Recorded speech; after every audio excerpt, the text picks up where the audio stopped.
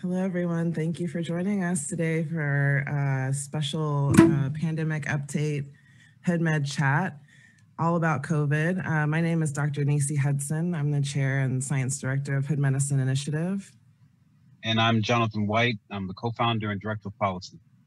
Doug Slaughter, the public health director.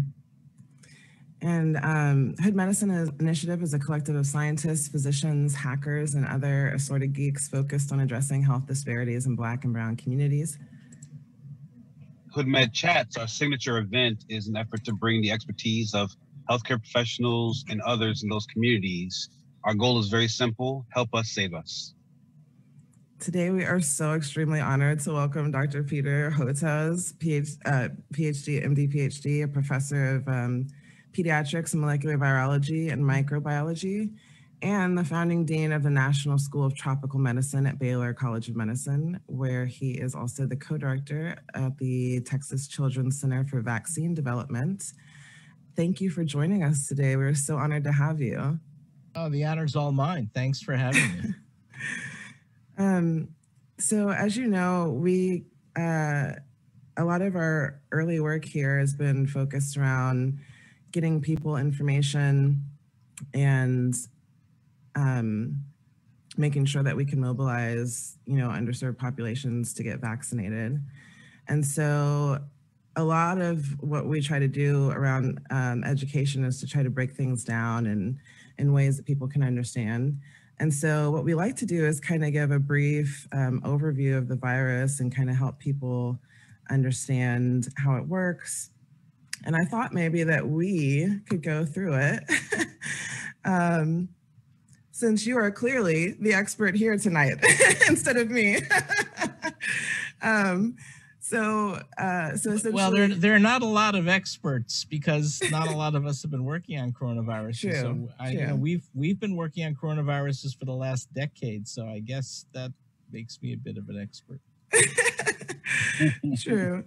Um, so essentially, the way that we like to explain it is very simply, you know, it's a it's got a protein bubble with some viral RNA, RNA inside and outside.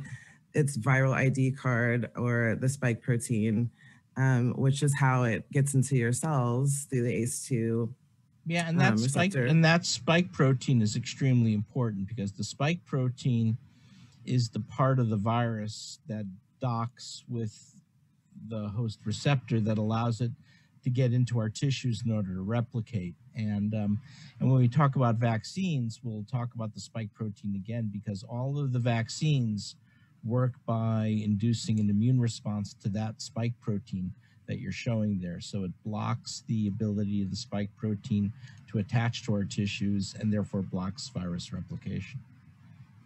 And as you say like we're you know that's how it kind of sneaks into our cells but and you know we like to always uh, compare it to keys and locks you know and those locks are everywhere you know they're in a lot of our organs Right. um and so which- one of the one of the mysteries is, you know, if remember that first SARS virus um, Mhm. that came out in 2003, uh, arose out of southern China, affected Toronto. That also binds to the ACE2, but it only mostly caused really severe lung disease. hmm, Kind of the mystery is now we know the ACE2 is everywhere. It's in it's in uh, as you're pointing out, it's in the, the the nervous system, it's in our fat tissue, it's in the heart, and sure enough, the the disease manifestations from COVID nineteen are far more diverse than anything we ever saw with that first SARS. And we all Mm. got fooled because we all thought that the SARS two, which causes COVID nineteen, would go by the same playbook that the first SARS went by, because respiratory illness. But in fact, we saw people getting heart attacks. Uh, it causes a lot of blood clots to form. Uh, and it has that link with higher body mass and probably due to more adipose tissue. So uh, we're only now fully understanding all of the consequences of COVID 19 and, and the realization it's a bad actor. It's causing um, sudden death from uh, blood clots to form uh, in, the, in the blood vessels going to the brain, causing stroke. It's causing coronary artery thrombosis, leading to heart attacks.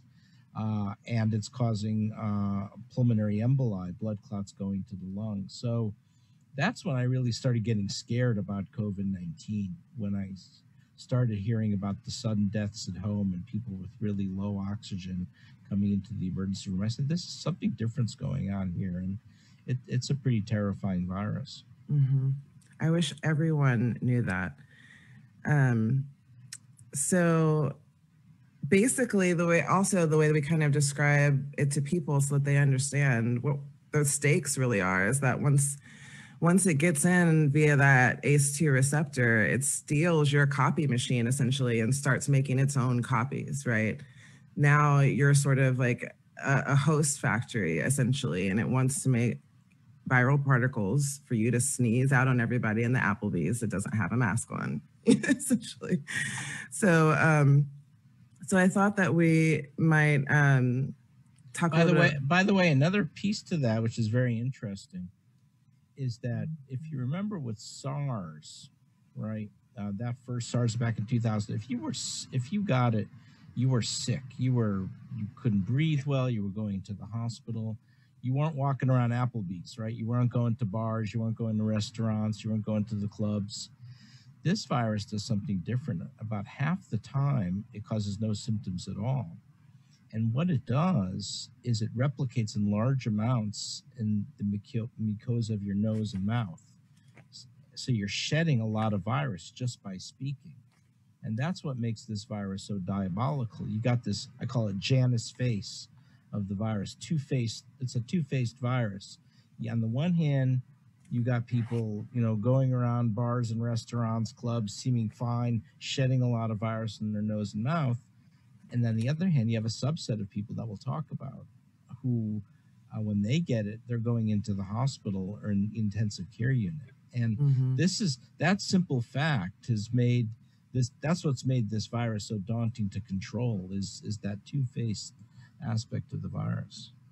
Yeah, we like to say that the virus, the virus figured out how to lay low, you know, and and give us a In so- chance. in some in some Yeah, in some. another, another and unfortunately it's it's the african american population that more likely is fall into that latter group uh, meaning that we're seeing uh, higher rates of of hospitalization uh, higher rates of icu admission higher rates of death in the african american community um, for reasons that we don't entirely understand. Um, uh, and and and that really scared me when I saw that information coming from the Centers for Disease Control. The Centers for Disease Control didn't didn't present it as, as a straightforward way as I would like, because you know the way they did it, they they just called it non-white. I said, "Come on, guys! I mean, are we, are we still there?" I mean, Yeah. that, that's that's where so so it, it took a while to kind of to get to kind of tease it out and really understand what's going on. But the other thing and this is one of the reasons I was so excited to have the opportunity to come on. You know, the narrative that's out there, right, is the ones who are getting sick and dying are people over the age of 65.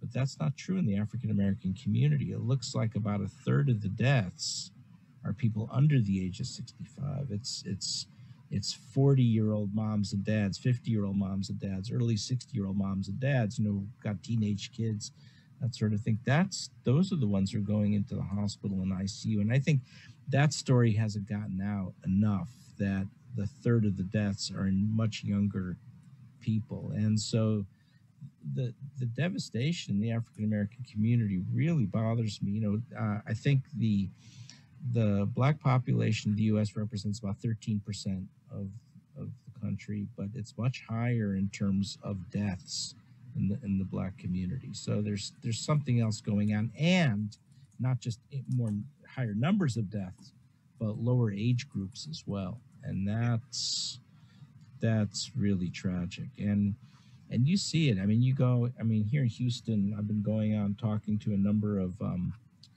uh, s- some of the radio programs that serve the African American community. Um, and when you, when you start to talk to people, this is the, this is when it really hit home. Basically, everybody I talked to in the Black community here in Houston, also Hispanic community as well, you know, knows personally knows someone who's gone into the hospital or even lost their life from COVID 19. And that's when it hit me that this is that this is really devastating black and brown communities across the country.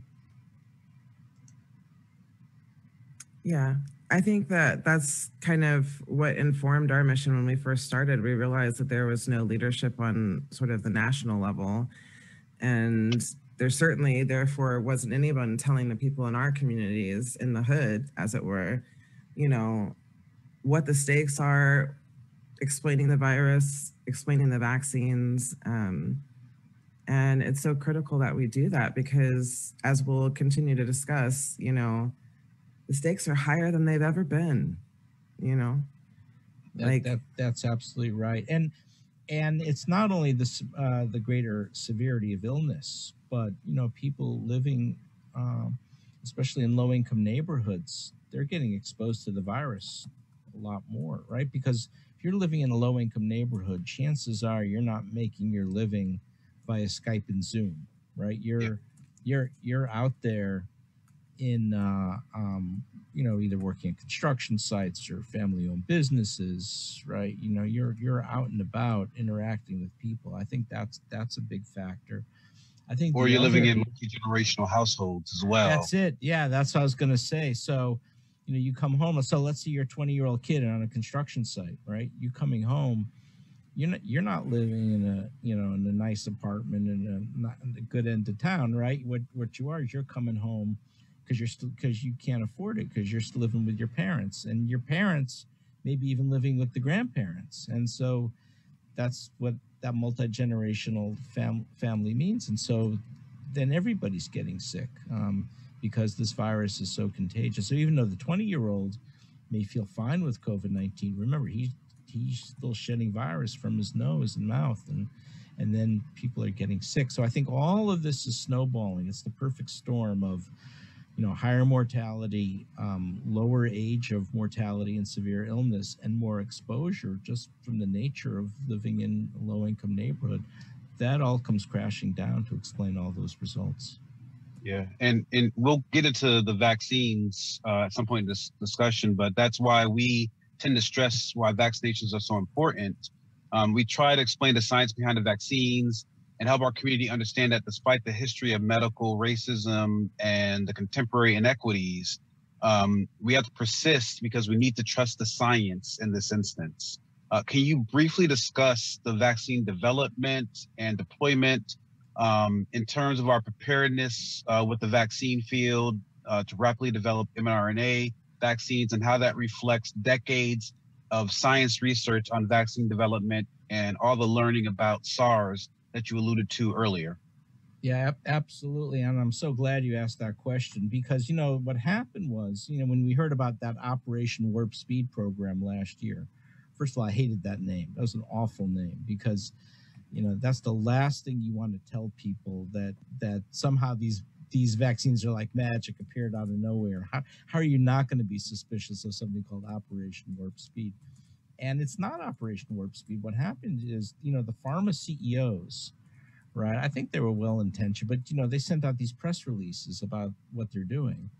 And you know, when a CEO of a, of a major company is sending out a press release, he's not writing it for you. He's not writing it for me. He's writing it for his shareholders, right? And and of course, they're going to spectacularize their accomplishments. And uh, but they were tone deaf to the fact that how people are going to perceive all that. So it made it sound like these vaccines appeared out of nowhere. They didn't.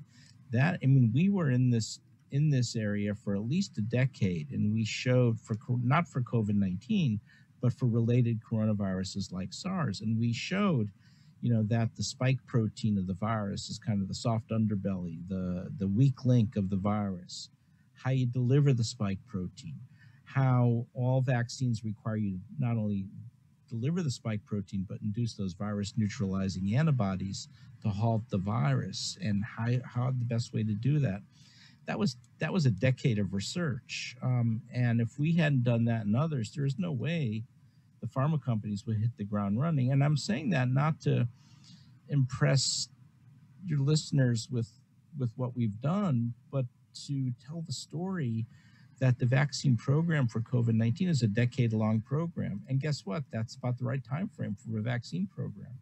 So the reality is the time frame it took to develop COVID-19 vaccines is really not much different from any other vaccine that you've taken or that you've given to your kids. And not enough people hear that as well. They again, they somehow are, don't trust the vaccines appropriately so because the message that they're hearing is uh, this was like a genie in a bottle. You know, it just it just you know rubbed the bottle and the smoke popped out, and then you had the vaccine. It was never that way. Yeah, this is more like Operation Building Blocks than op- Operation right. Warp Speed.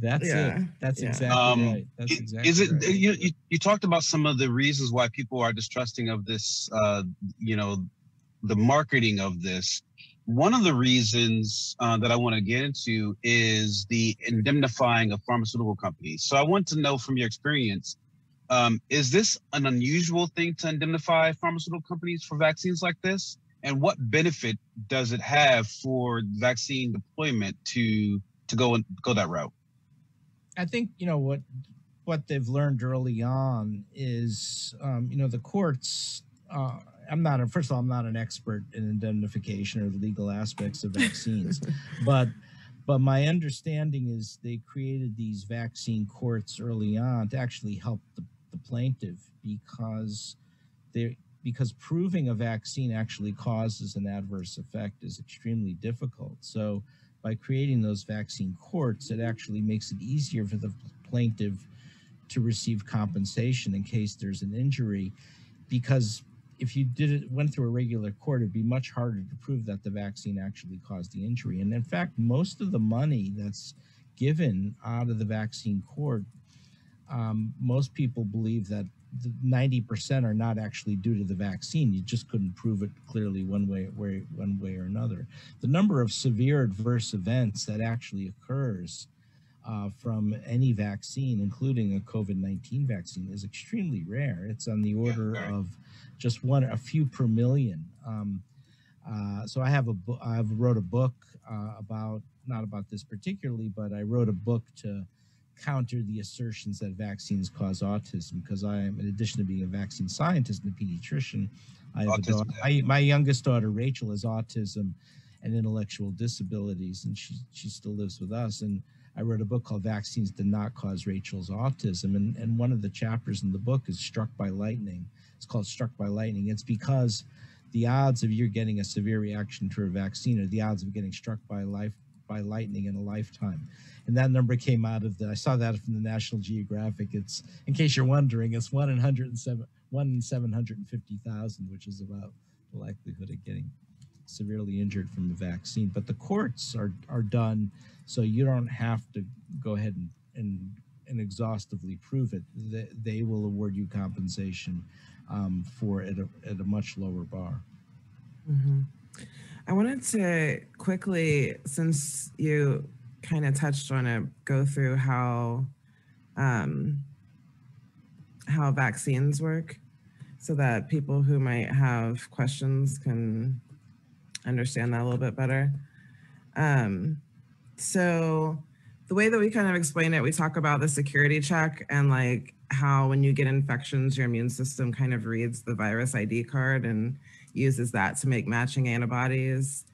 And that those antibodies then tag the virus for death by cell assassins, right? So you get the intel, you make the antibodies, there's the setup and the kill, right? Um, and then, so with these mRNA vaccines, kind of gives your cells a cheat code to just make little pieces of the spike protein so that you can start making those antibodies to fight off infection. And so we just kind of explain to people that, you know, when you get that injection, the muscle cells kind of download that cheat code and throw this huge party on top of the cell so that everybody comes and they kind of like put it in their dossier. They know for next time what to do and can respond much quicker. And um, that's kind of the whole point of a vaccine, right? Um, yeah so th- all so, so all of these vaccines what they do is they work by delivering the spike protein. So you know people are wringing their hands hey should i get to take the mrna vaccine from moderna or pfizer? Should i take the j&j adenovirus vaccine? What about these protein particle vaccines that are coming down the line? Should i wait Is one better than the other? What I say is, look, don't wait. This this virus is accelerating, uh, and will be uh, as we move into the summer.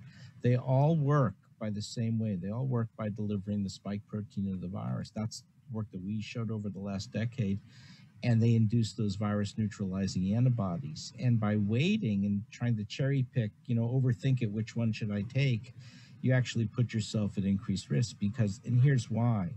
Um, the number of cases you're hearing is starting to go down, but now the one of the variants of the of the COVID-19 virus which goes by that very memorable name of B117. How could you not remember that, right? Mhm. So it's The UK, the UK variant for everyone the, else the- too. the- exactly. So the UK variant that's accelerating, especially in the southern part of the United States. So in um, in Florida, Texas, Georgia, you know the CDC contract contracted with this organization called Helix that does all the genomic virus sequencing.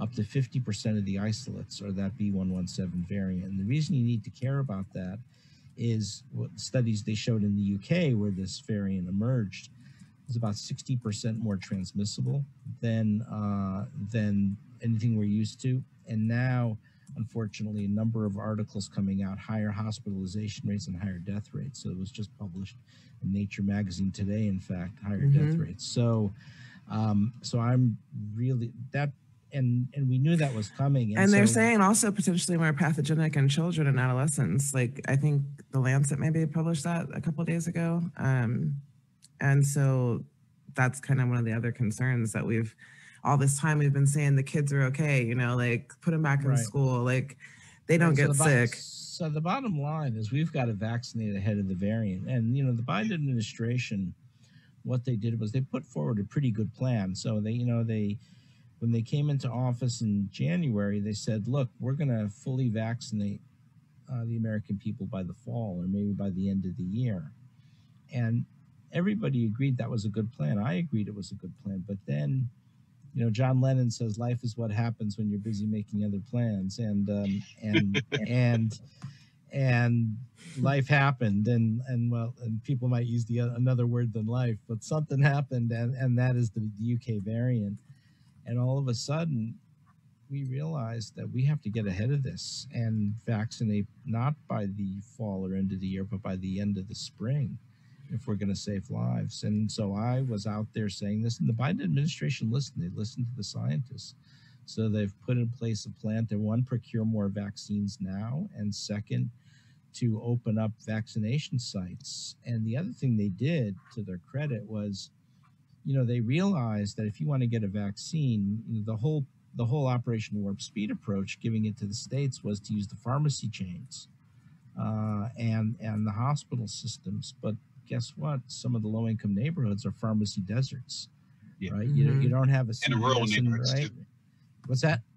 in the rural areas as well.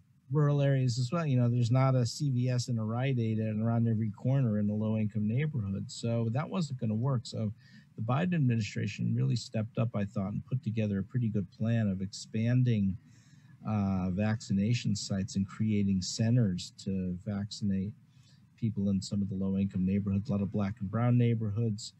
Um, it's still not perfect. Um, but it's at least now we've got something in place to to accelerate at two levels. One, have more vaccine available. Two, make more sites available. Um, um, what about from a surveillance perspective, right? Are, are we being vigilant enough in our variant testing?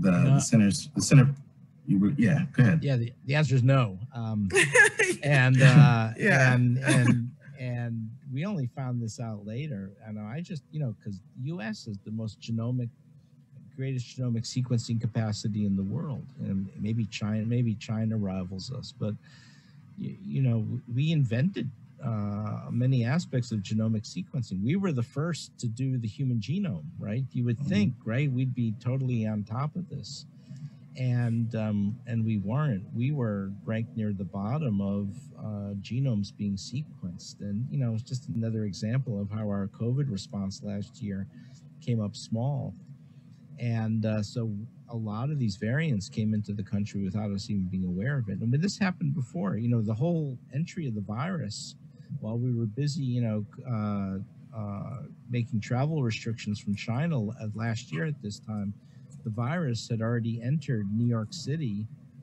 from Europe by the end of January, beginning of February, and nobody knew it till the first case got diagnosed in March. So we missed that whole month of opportunity to control it. Well, the same is true with the genomic sequencing. So now we're slowly getting up to speed, still not adequate, but we know enough now to know the B117 variant is, is here in a big way, and I'm extremely worried about it. So are we. Um, to that end, I guess, you know, one of the biggest worries we've been telling some of our listeners about escape mutants and why that and what they are and why it makes um, vaccinations so much more important because of um, these sort of cat and mouse games we have we're going to have to play. But i wonder if you could talk a little bit about what that's going to look like on our end you know if we get to the point where we don't really get everyone vaccinated in time for some of these mutations does that mean booster shots like what does that mean practically speaking well, first of all, the good news is all of the Operation Warp Speed vaccines that are being released to the public in the United States, they work equally well against the original variant and this UK variant. So that's really important information. But they don't work as well against two of the variants that are starting to pop up: the South Af- one from South yeah. Africa and the one from uh, Brazil. Mm-hmm. So the South Africa is the B1351, the Brazil is the P1. Most of the virus genomics people that I've been speaking to seem to think that the B117 from the UK, that's going to be the dominant one. So that if the one from Brazil or South Africa comes up, it won't be till later on. So it buys us some time. But don't forget, don't don't be surprised if we wind up needing another boost. So that if you got that two dose Moderna Pfizer vaccine, uh, mRNA vaccine, don't be surprised if later on this year, early next year, you're going to need to get a third immunization. And same with that J and J one dose vaccine that everyone's talking about. It may be a two dose vaccine to get ahead of those other variants. I don't think we have to worry about it so much for now, but it's something to keep in mind. In the meantime, we want to stop any new variants from emerging, and that's another reason to get ahead of it. We uh, we often tend to think of health and issues in a very insular, nationalistic sense. Um, but this is not just a US pandemic and it's not just a European pandemic. And it's certainly not just a Western pandemic. This is a global pandemic. So can you talk a little about you were you kind of etched into that. Can you talk a little bit about the global concerns for not getting vaccinations uh, to other areas that don't have the same access as most places in the United States. Yeah, absolutely. You know, we're um, uh, the U.S. is uh, probably near the top. I think Israel is at the very top, uh, but it, following that's UK in the U.S. in terms of vaccinating our populations, and you know, everyone's being very self-congratulatory, saying, "Hey, you know, uh, we're we're taking care of ourselves," but I'm really worried about what's happening in the rest of the world most of Latin America is nothing um, in terms of vaccines and being able to vaccinate their population. And Africa is looking pretty bleak right now. And even though Africa has done fairly well um, in 2020, with this South African variant now accelerating up from South Africa into Malawi and Mozambique and uh, and Tanzania, I worry that's going to be really catastrophic. So one of the things we're trying to do is in our lab we've developed a low cost recombinant protein vaccine. I don't know if we'll get it into the US, but at least now we're scaling up production in India that can help provide uh, for Africa. But, you know, this is another lesson learned that, you know, we're too dependent on the multinational pharmaceutical companies and not enough local capacity. So, for instance, there are no new a- vaccines made on the African continent, if you can believe that. So, you know, right. And are, weren't they trying to like block patent access as well so that some countries couldn't well well the problem is you know those two mrna vaccines that we have here it's still a new technology and we don't mm. have that it's still a new technology and it's still hard to scale up remember let's let's talk about sub-saharan africa 1.1 billion people live in sub-saharan africa right if you need two doses you're talking over 2 billion, you know, we're talking about 2 billion doses of vaccine. Where's that going to come from? Those two mRNA vaccines from Pfizer and Moderna, it's a new technology. We're not going to be able to make nearly enough um, of that mRNA vaccine.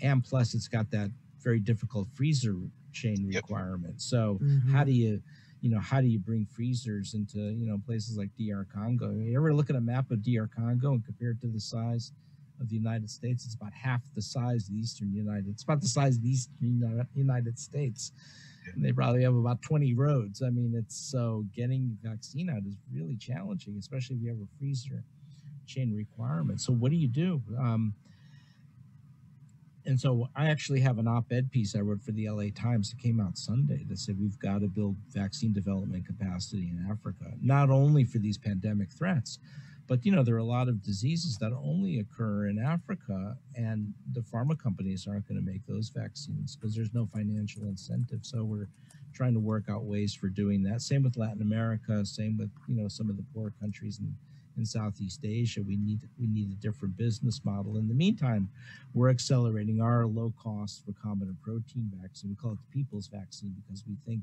we could do it for a dollar fifty a dose, um, which is about as inexpensive as you as Wow. you can get. And so that's being scaled for production now by Biological E. They're one of the big vaccine producers in India.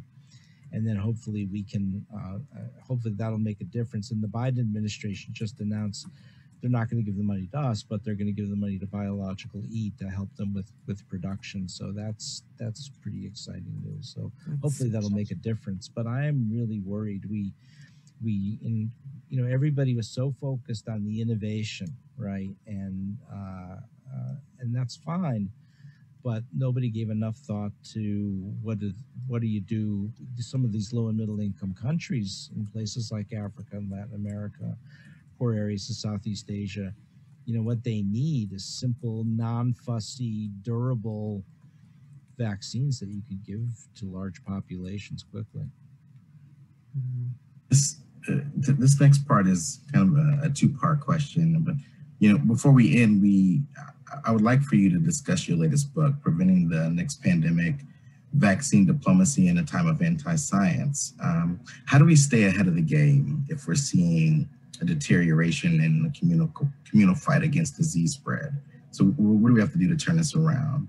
That's the first part, and the second part is, you know, I would love if you could touch on some of the hesitancy issues um, that that we're grappling with, and how uh, how that affects the overall potential of herd immunity and what we need for that.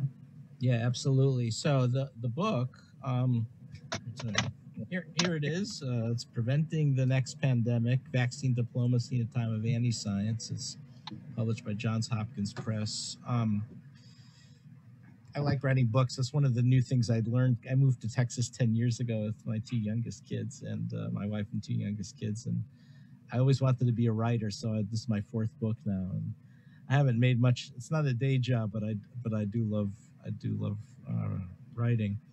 Um, it makes the observation that you know when everyone talks about COVID nineteen, they make it sound like it's this extraordinary event. It wasn't. I mean, there's COVID nineteen is more like a culminating event that follows on declines over the last five or six years, but it's happening because of these big social forces like war and political collapse, urbanization, and so I ident- identify a bunch of hotspot areas of the world. So, for instance, the Arabian Peninsula, because of the Syrian conflict and the civil war there, and the ISIS occupation, and the war in Yemen, that proxy war between Saudi Arabia and Iran, that collapsed health systems and really drove up disease. Or what's going on in parts of sub Saharan Africa, like in the Boko Haram areas of northern Nigeria where you've got all this armed banditry on civilian populations and all of this, all these atrocities. That's also stopped vaccination programs and vector control programs, or in Venezuela with the Maduro regime, and they've, you know, the socioeconomic collapse there, bringing back measles and identify about five or six areas. Uh, and so it's kind of a wake up call that we should recognize them. And as physicians and public health experts, you know, I don't know about your your training, but my training, uh, you know, in medical school and graduate school, I never heard about war and political collapse and poverty and and and urbanization, but it says that we have to recognize that these are some of the big drivers of disease. And then the last one was is is anti-science, meaning this rise in uh, dedicated groups that are targeting specific uh, other groups to convince them that vaccines cause autism and terrible things. And unfortunately, it's really active here in the United States. So back in 2017, the anti-vaccine uh, I call them ringleaders. They really are very diabolical. They targeted the Somali immigrant community in, in the Twin Cities of Minnesota. They came, this was reported by the Washington Post. They came in town hall meetings they held, convinced them that vaccines cause autism.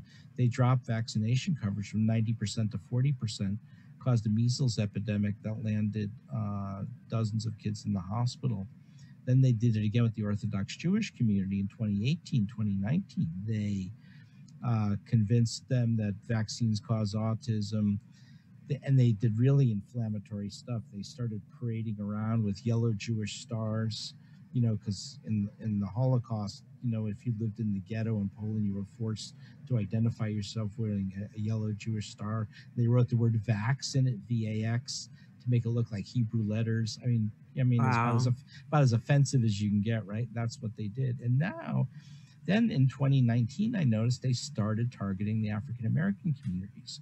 They staged these Harlem vaccine forums that did a lot of damage. They even had one in the in the Riverside Church on the Upper West Side of New York, which you know is one of the iconic churches in the history of the civil rights movement. You know, the Reverend Sloane Coffin, and so this really worries me. And now I've I've seen a trailer for it. They're they're making a movie documentary and in the trailer it looks like they're going to compare vaccines to tuskegee experimentation uh, which is about as exploitative as you can get. And uh, and i'm saying no. I, this is one of the reasons why i'm coming on all these these shows to say we've got to stop this. I mean vac- a vaccine is the only guarantee that you're going to have to stay out of the hospital in the icu and by targeting the african american community you know, comparing vaccines to Tuskegee, that that's not going to go well, and and I'm very concerned about that. Now, of course, you know, you've got the legacy of Tuskegee, and I understand the historic and, uh, distrust and and the historic racism, but this piling, this new piling on, uh, I'm really worried about. Yeah. Yeah.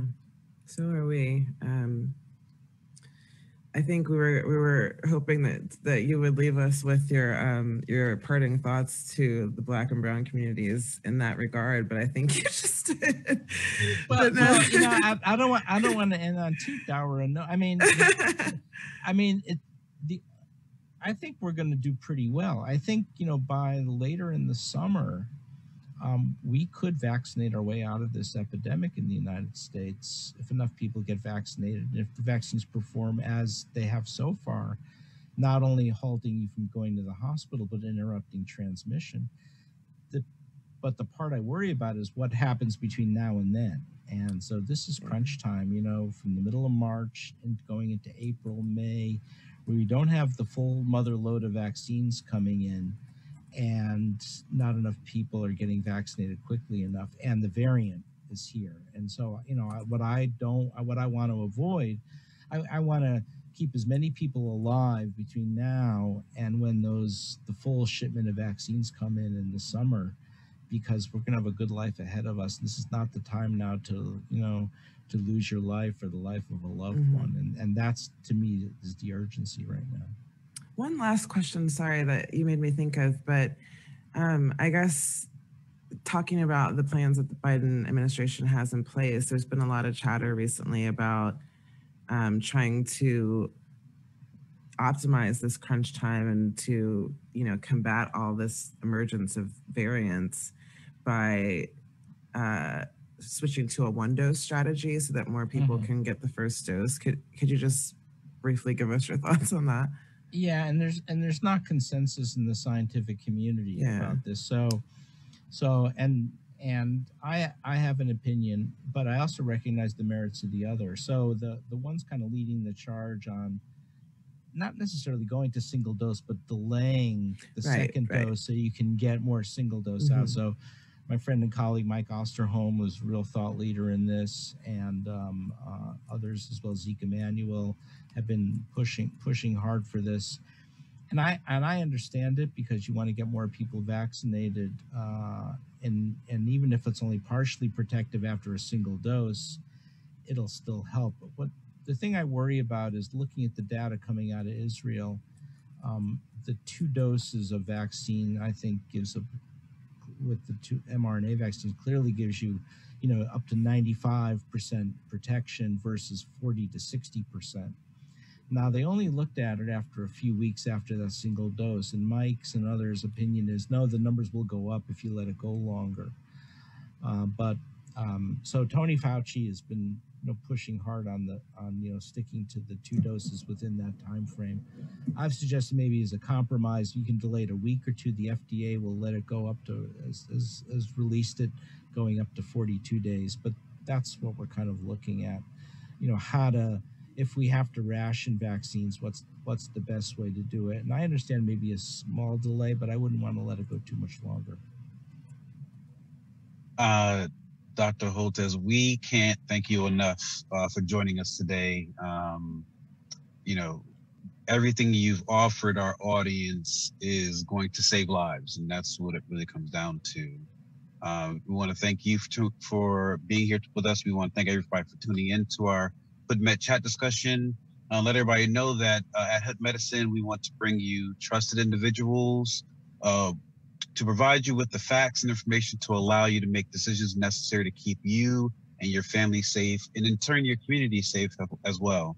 Um, please follow us on Facebook, Instagram, and Twitter to support our effort, donate to our cause, or find out about our next events. Uh, you can visit hoodmedicine.org or at hood underscore medicine on Instagram and Twitter, or Hood Medicine Initiative, all one word, on Facebook.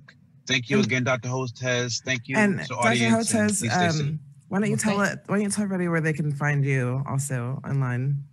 Oh yeah, um, you can just uh, you can follow me on Twitter at Peter Hotez, and that's probably the the, the, the, the easiest, most straightforward way. But let That's me let me just thank you guys for for doing this because this talk about saving lives. This is what you guys you guys are doing God's work here, doing this and, and getting this word out because we just don't have enough opportunities like this and. Um, I'm, I'm very appreciative having the opportunity to come on and happy to come back because you know this these goalposts, these goalposts keep moving, right? I mean, this is Yeah. a new virus pathogen.